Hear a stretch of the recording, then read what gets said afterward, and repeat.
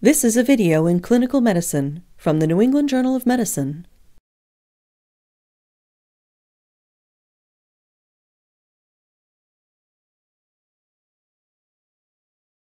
Tympanocentesis is defined as needle aspiration of fluid from the middle ear. In children with acute otitis media, drainage of pus from the middle ear results in a rapid and marked improvement in symptoms and enables the clinician to prescribe tailored antimicrobial therapy. This video will demonstrate the technique of tympanocentesis.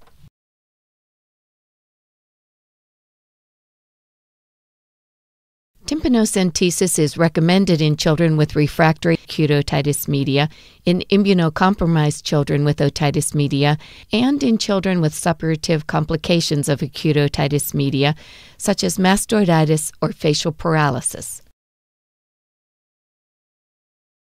Tympanocentesis is contraindicated in children with tympanostomy tubes and in children with congenital stenosis of the ear canal.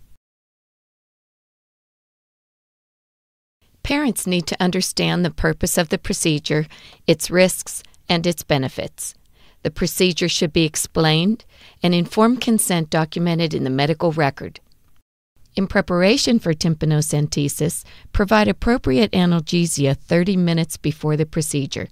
Acetaminophen with codeine may be used as oral analgesia.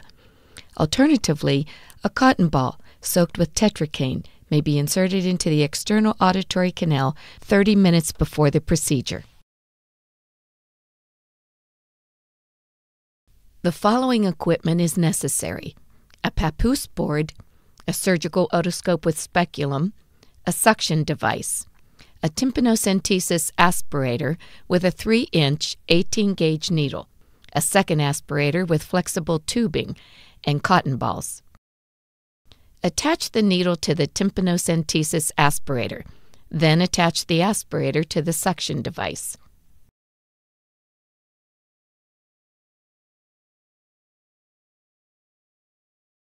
If a tympanocentesis aspirator is not available, it is possible to use a 3 milliliter syringe connected to a 3 inch 18 gauge spinal tap needle that is bent at its midpoint to a 30 degree angle. Given the manipulation required to bend the needle and the relatively weaker suction achieved when using a syringe, this is not the preferred method. First, fully immobilize the child in a papoose board and secure the child's head. Cerumen should be removed before you begin the procedure. We will demonstrate the procedure itself with this animation, which shows the steps from the coronal view. Under direct visualization, advance the needle toward the tympanic membrane while keeping your thumb poised over the orifice of the tympanocentesis aspirator without occluding it. Insert the needle tip through the inferior portion of the tympanic membrane 2 to 3 millimeters above its inferior rim. Immediately after penetrating the tympanic membrane, place your thumb on the orifice of the tympanocentesis aspirator and start suctioning the middle ear fluid. Once pus is visualized in the aspirator, promptly remove your thumb from the aspirator to avoid losing the specimen into the suction tubing. Use a second tympanocentesis aspirator with a flexible catheter to suction any remaining pus from the middle ear. Insert the catheter through the speculum and place it over the opening in the tympanic membrane made by the needle. The catheter should not go through the tympanic membrane. This step also clears the debris in the external auditory canal and may enhance visualization of the tympanic membrane at future visits. The steps of the procedure are as follows. Insert the otoscope into the external auditory canal using your dominant hand and visualize the umbo and the annulus. Once the instrument is in the proper position, use your non dominant hand to hold the otoscope in place. Insert the needle attached to the tympanocentesis aspirator, which is in turn attached to the suction device. Penetrate the inferior part of the tympanic membrane with the needle. Use a second aspirator with flexible tubing to suction any remaining blood and pus from the canal. Place a small cotton pledget in the external auditory canal to absorb any remaining blood or pus and release the child from the restraint. Remove the plastic receptacle from the tympanocentesis aspirator, cap it, and send the specimen for microbiologic evaluation.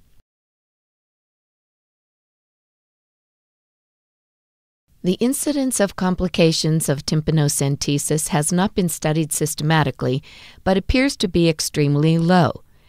Complications may include disruption of the ossicles, the incus, stapes, and malleus, piercing of the oval or round windows, laceration of the facial nerve or the chorda tympani, bleeding from a high-riding bulb of the internal jugular vein, and chronic perforation of the tympanic membrane.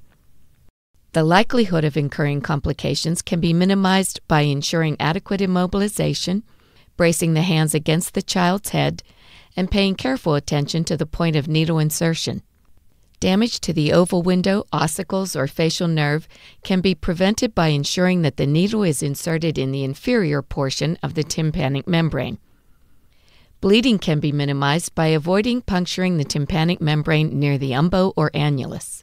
In case of profuse bleeding from either the external auditory canal or a high riding jugular bulb, the external auditory canal can be packed with a cotton ball soaked in oxymetazoline. Having the child sit up and having the parents soothe the child to reduce the pressure caused by crying may also help reduce bleeding. Gram staining of the middle ear specimen, as well as the susceptibility pattern of the organisms isolated, should be used to guide antimicrobial therapy. The small tympanic membrane perforation made during tympanocentesis usually heals in approximately two to three days, and some serosanguinous drainage during this period is normal. A cotton ball coated with petroleum jelly should be used during bathing to keep water out of the child's external auditory canal for the first three days. A follow up exam should be scheduled three to four days after the procedure. This video provides only an introduction to tympanocentesis. Further training with an otolaryngologist is necessary.